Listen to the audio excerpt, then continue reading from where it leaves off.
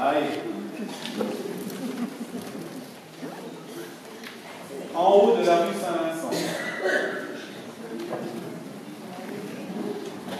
Je dois profiter pour vous présenter, mais t'as présenté là, Véronique, Véronique c'est vraiment la cheville ouvrière des études.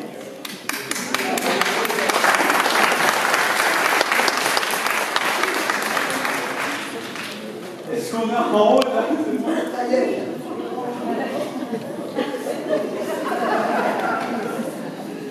milieu.